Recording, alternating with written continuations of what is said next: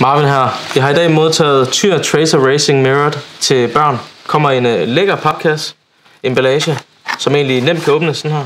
Og så har du faktisk brillen. Skal jeg lige have den ud. Det var nemt nok, man skulle bare lige give den lidt kræfter.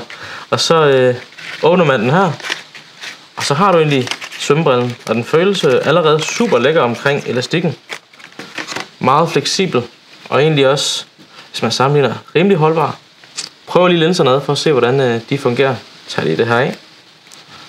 Og får en øh, lille smule mørk linse, så jeg tror faktisk, de er super gode, hvis du er under omstændigheder, hvor, hvor der er meget lys. Der vil de være rigtig, rigtig gode.